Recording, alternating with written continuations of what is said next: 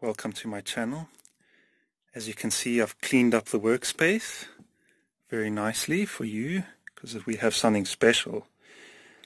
Uh, some of you have requested that I give an instructional video on how to make this awesome cheap ghetto humidifier.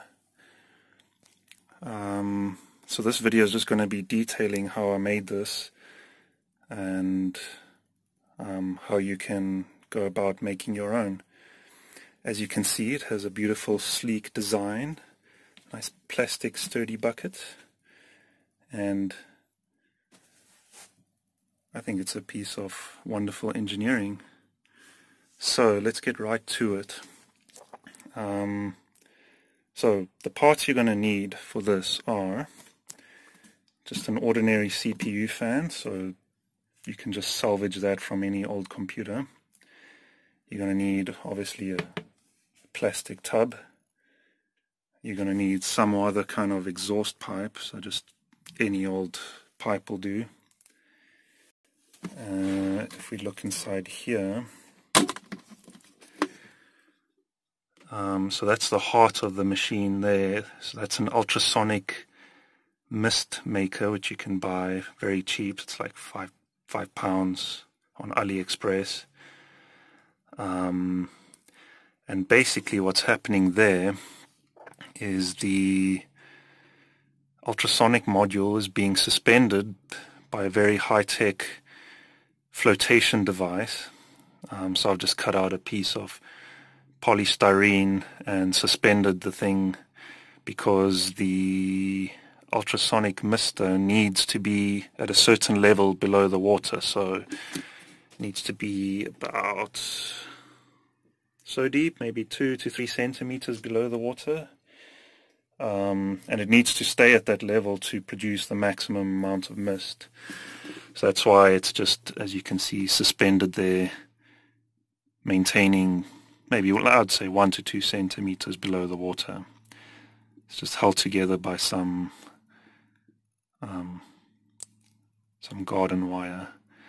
So as you fill it up, the flotation device will make it float to the top. Um, and obviously as the water depletes, it will follow the level of the water. Um, what else will you need? You will need now there's a bunch of wiring and stuff in there. Now don't get too discouraged. I've drawn out the circuitry there. So you do need a little bit of electronics experience, probably not too much, um, to make this work. So what you need is one of these. So this is a DHT 11 um, temperature and humidity sensor. So this is very cheap. It should be less than a pound. Um, you're going to need some jumper wires, obviously. You're going to need an Arduino. You can use any Arduino. So here I have an Arduino Nano, but you can um, quite easily replace it with the Uno, which I have somewhere lying around. Um, what else will you need? You're going to need relays. Um, specifically, you're going to need two of them. Um, let's have a look. We've got some relays in there. So there are the relays. Let me see if I can find. Oh, there we go. So there's what the relay looks like. Let me get a focus on that. Yeah, just any 5 volt relay will do. Um, and that's pretty much it really. So, how it works, um, basically the ultrasonic um, mist module, so that thing, the only requirement here is that it needs a 24 volt power supply, DC. Um, so I'm lucky enough to scrounge old um, so this is an old uh, laptop power supply. And if you look in the output it says 24 volts. So that's perfect. Uh, I think you need generally more than an amp. I think one and a half amps it's, it works fine for me but um, I, I, would say then one and a half amps or more um, so you need that and that's probably the, the most costly thing in this whole thing if you can't get one of these now there is a workaround, so you could take an old computer power supply and scavenge the PSU from it. And if you hook up the blue and the yellow, um, so the yellow is plus 12 volts and the blue is minus 12 volts. So when you combine them in a circuit, um, they form 24 volts. And I've successfully actually powered this thing with this but um, this is a more elegant solution if you will. Uh, so let's get right to the diagram. Now don't be put off by all this crazy wiring. It, it is a bit crazy but when you actually see the circuit diagram it's not too bad so let's have a look so everything like I said, everything is powered by 5 volts, um, which you can obtain using any um, any sort of phone charger if you just uh, hack one of the USB cables that provides you 5 volts. Um, so the fan, the Arduino, the relays, uh, and the um, temperature and humidity sensor are all powered by 5 volts. So um, you know you can simply just cut one of the USB cables and that's red is the positive so plus 5 volts and the black is the ground. So those will be those two. Um, and then the 24 volts like I said is for this. So let's see. So 5 volts we connect to the fan. And uh, the other lead we collect, connect to the relay. And through the relay it must go to ground. Now if I bring out the relay uh, as you can see here see get some more lighting on that you'll see the relay comes with three three things there's NO, COM and NC so COM is just common NO means uh, normally open and NC is normally closed. So you need to use COM and normally closed. So those would be those two here because you want uh, the relay to the fan to be normally closed and only activate when the Arduino sends the signal for it to activate. So you would go and you would wire something like that. So can you see that? Ooh, there we go, COM and normally closed. Um, so as you can see the fan is powered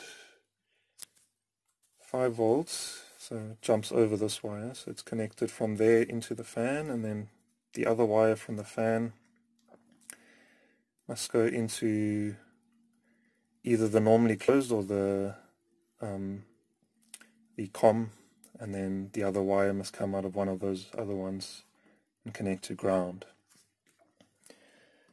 Um, then, so the relay, so that's that's the business end of the relay. On the other end of the relay, you've got as you will see, man, focus is a, being a little pain. Let's put it in the light.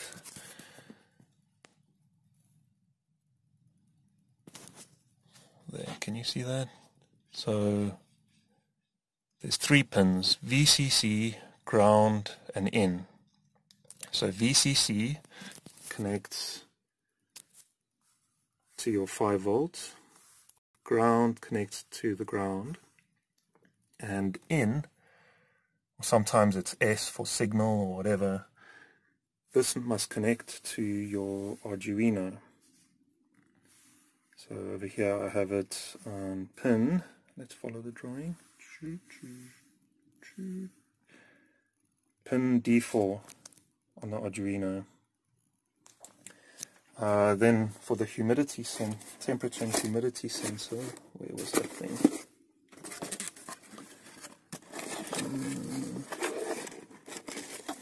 Uh, here it is. So you'll see a common theme again. So let's get that in the light. So you see S is for signal, the minus is for negative or ground, and then the middle terminal is for uh, VCC or plus 5 volts. So once again, You've got VCC which goes to 5 volts, the ground goes to the ground, and the signal now goes to pin D2 on the Arduino.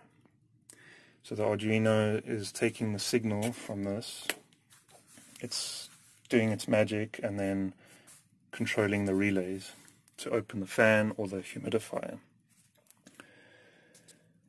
Uh, lastly, you need to hook up the humidifier. So this goes, you have your 24 volt power supply. So one lead goes into the ultrasonic mist maker. The other lead will go into one of the either the normally closed or the common on the relay and then the other wire must then come back into the ultrasonic maker. Um, so that's basically the wiring diagram. Uh, can't focus on that.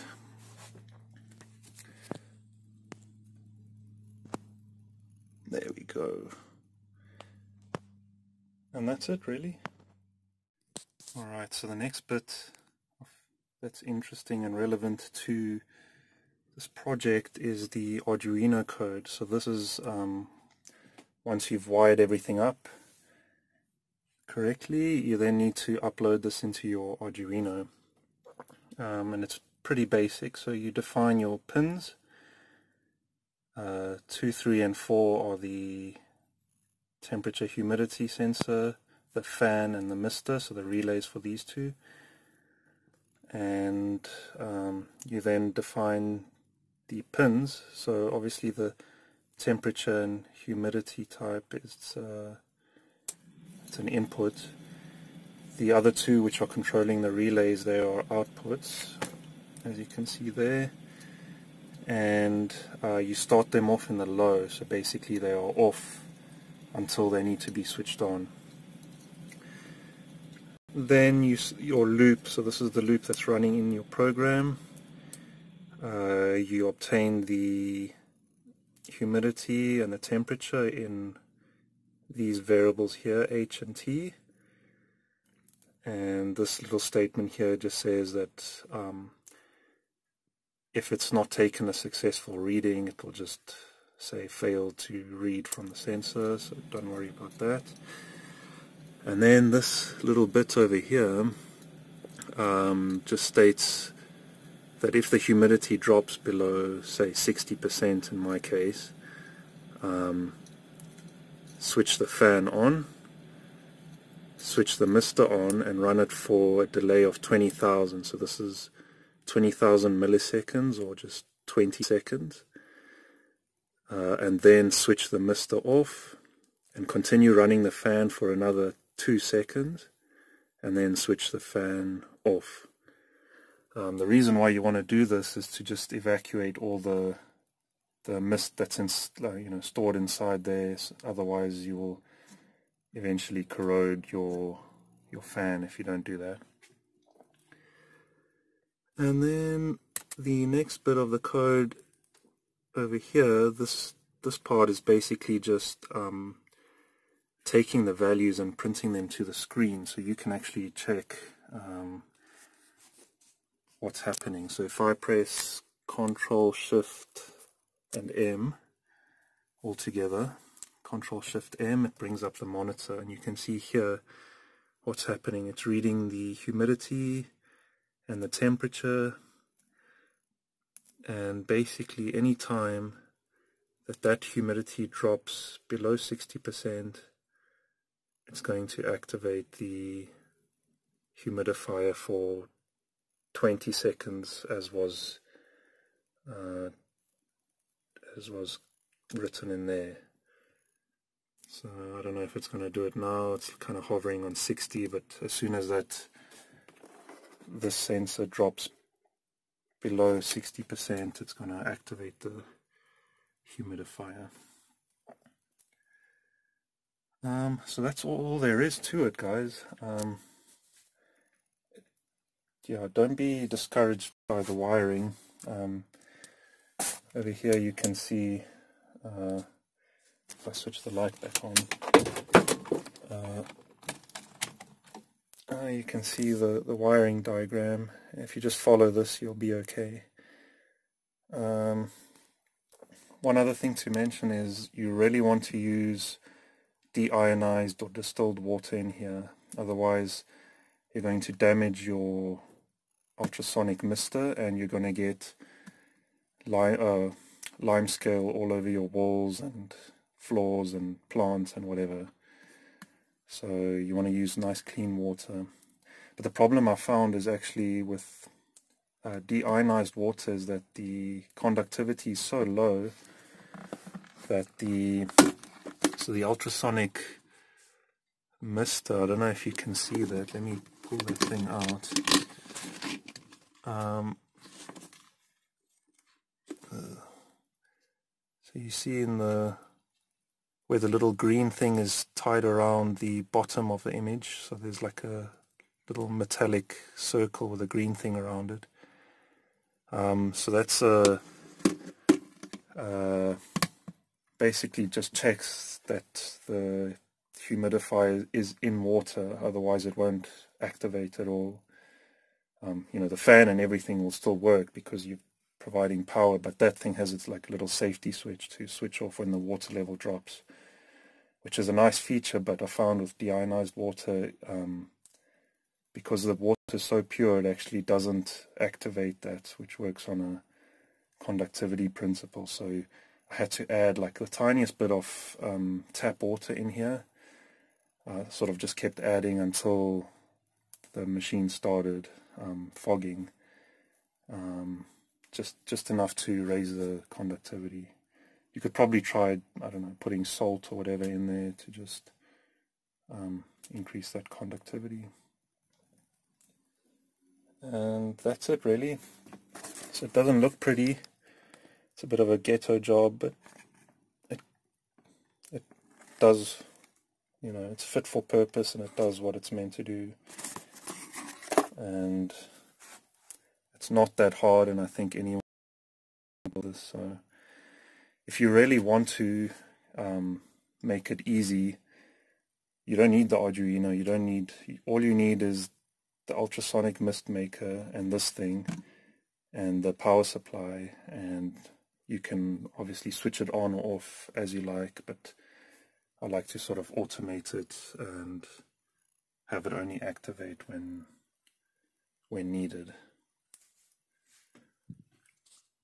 Okay, I hope you enjoyed this, and if you have any questions, just let me know and I'll try my best to answer it. Cheers.